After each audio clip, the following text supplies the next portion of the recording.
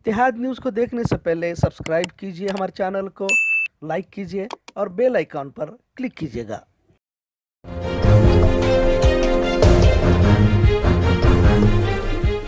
बीमारी से निजात दिलाइए।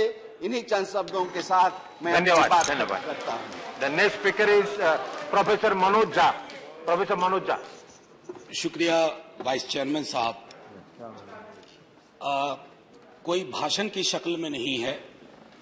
एक शोक संतप्त गणतंत्र के एक अदना नागरिक समझिए या एक जनप्रतिनिधि समझिए, उसकी ओर से कुछ बातें कही जा रही हैं और सबसे पहले माफीनामा उन तमाम लोगों को जिनकी मौत को भी हम एक्नॉलेज नहीं कर रहे हैं, जो हम जान ही रहे हैं कि वो मारे गए। तो ये माफीनामा सर सिर्फ़ मेरा नहीं है, मैं इसलिए ये बात कह रहा हूँ कि मई के महीने में मैंने छह आर्टिकल लिखे, संसद चल नहीं रही थी कहाँ अपनी शिकायत ले जाते, किससे कहते? मुझे भाजपा के मित्रों ने, कई साथियों ने कॉल किया, बधाई दी, मैं उनका भी एहतराम करता हूँ। और कहता हूँ कि ये भरोसा इस सदन का है कि हम सबको एक साझा माफीनामा उन लोगों के नाम भेजना चाहिए, जिनकी लाशें गंगा में तैर रही थी। किसी ने कह दिया ये, किसी ने कह दिया वो। सर, दूसरी चीज़, मैंने कई कल सेक्रेटरी जनरल साहब से ही बात करने की कोशिश की, बाकी जगह भी। किसी दो सत्र के बीच में सर पचास लोगों की ऑबिचुअरी आज तक कभी नहीं हुई। संसदीय इतिहास में। राजीव सातव की उम्र थी जाने की इस दुनिया से। रघुनाथ महापात्रा जब मिलते थे गले लगाते थे बोलते थे जय जगन्नाथ। अचानक में वो नहीं है। ये पीड़ा व्यक्तिगत है आंकड़ा मैं नहीं कहना चाहता हूँ। मेरा आंकड़ा तुम्हारा आंकड़ा अपनी पीड़ा में आंकड़ा ढूंढिए।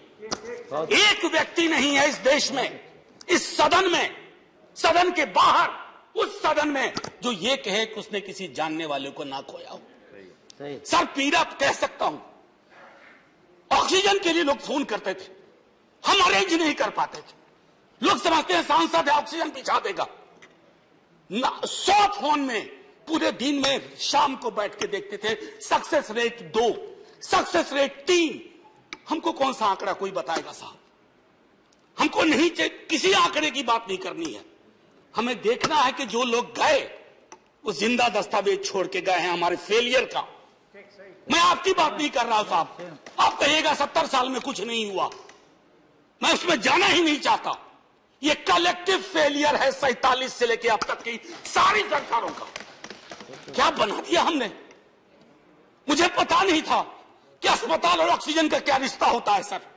ईमानदारी से कहता हूँ, मैं मेडिकल बैकग्राउंड से नहीं आता हूँ। सुबह से लोगों को दिखता था, ऑक्सीजन ऑक्सीजन, रेमडेसिविर। मैं तो दवाइयों के नाम तक शुरू में सर प्रोनाउंसिएशन चेक किए कि कैसे उच्चारण करूँगा। ये हालत और तब हम आंकड़ों की बात कर रहे हैं। तब हम ये बात कर रहे हैं। थैंक यू फलाना साहब, चिलाना साहब। सर, मैं यहाँ से निकलता हूँ। बड़ा, बहुत बड़ा विज्ञापन लगा हुआ है। मुफ़्त वैक्सीन, मुफ़्त राशन, मुफ़्त इलाज। सर, एक मिनट। मैं मैंने किसी नहीं please please please I don't want my time. मैं मैं किसी दल की ओर से आज नहीं बोल रहा हूँ।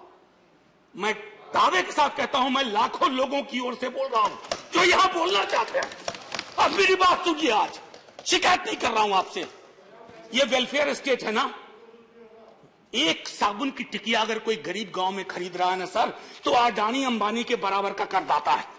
आप उसको कह रहे हो मुफ़्त मुफ़्त वैक्सीन मुफ़्त इलाज, मुफ़्त राशन। नहीं साहब, कुछ मुफ़्त नहीं है। उसका स्टेट है। इस वेलफेयर स्टेट का कमिटमेंट है। उसको आप डिनाग्रेट मत करिए। डेमोनाइज मत करिए। उसे बौना मत बनाइए।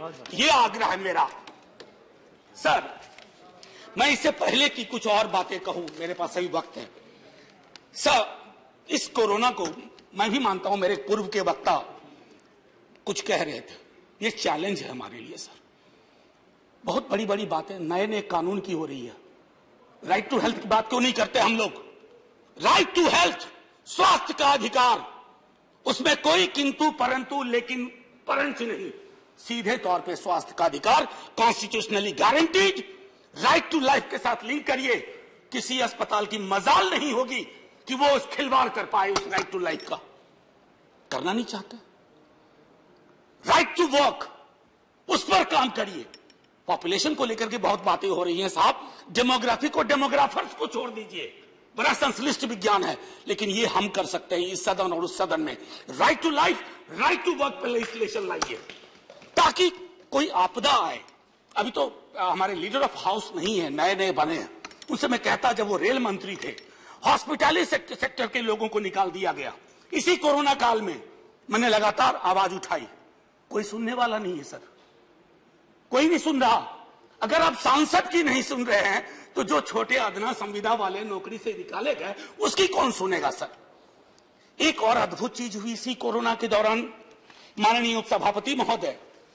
जब हाहाकार मचा हुआ था, हॉस्पिटल के लिए, आईसीयू बेड्स के लिए दवाइयों के लिए यह हाहाकार जब मचा हुआ था, उस दौर में, सर कई चीज़ें हुई, जिसमें से एक जो महत्वपूर्ण चीज़ मैं जिसका ज़िक्र करूँगा, उस हाहाकार में सरकारें, मैं सिर्फ़ केंद्र को नहीं कह रहा हूँ, कई राज्य सरकारें भी नदारत वो डेढ़ महीना कैसे बिताया है इस मुल्क ने? हमारे सदन के कोई लोग बड़े मुश्किल से बच के आए हैं मैं नाम नहीं लूँगा। पूरे देश ने वो वक्त कैसे बिताया है? नाइट मेयर की तरह लगता है, सर, डरावना लगता है। एक मेरा स्टूडेंट पढ़ा है वह सैंतीस साल का। हॉस्पिटल का बेड जब तक मैंने अरेंज किया वो दुनिया छोड़ के जा चुका था। मैं इसलिए बार बार इस, इसको किए इसलिए सर इसलिए ये कह रहा हूँ कि इसमें व्यक्तिगत पीड़ा को ढूंढिए। तब हम इसका निदान ढूंढ पाएँगे। मेरी नाव तुम्हारी नाव मेरा काल तुम्हारा काल ये तो बहुत कुछ हुआ। इस भौकाल से आपको कुछ हासिल नहीं होगा। सर बस एक मिनट और लूँगा जो मैं कहना चाह रहा था।